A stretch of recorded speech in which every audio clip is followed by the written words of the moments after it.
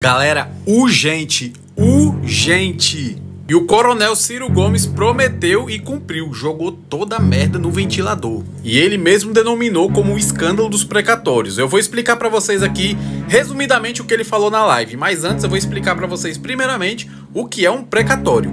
Precatório é como uma conta que o governo tem que pagar quando perde um processo na justiça.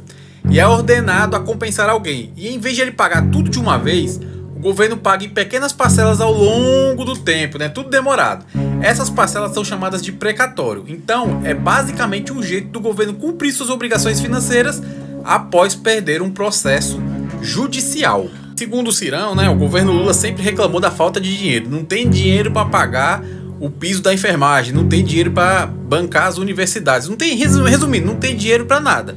Porém, no final do ano, né, em dezembro de 2023, o governo Lula decide pagar os precatórios no valor de 93 bilhões. O problema todinho é que o poder judiciário que recebe esse dinheiro, né, e repassa. Só que na hora de repassar, quem foi receber o dinheiro foram os bancos. Por quê?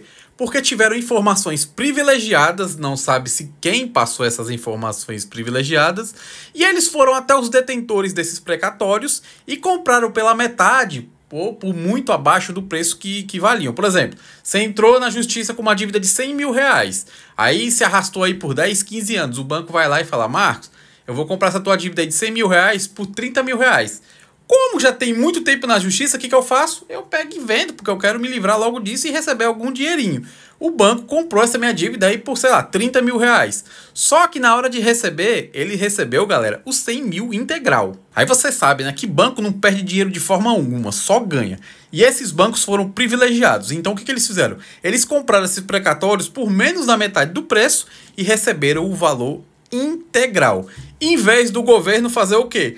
Chamar os detentores desses precatórios e falar assim: ó, vamos negociar, vamos pagar aqui para você a metade do preço, porque tinha economizado no mínimo uns 45 bilhões de reais, mas não fez. Esse é mais ou menos um resumo do que o Ciro jogou no ventilador hoje, o que ele autodenominou o escândalo dos precatórios.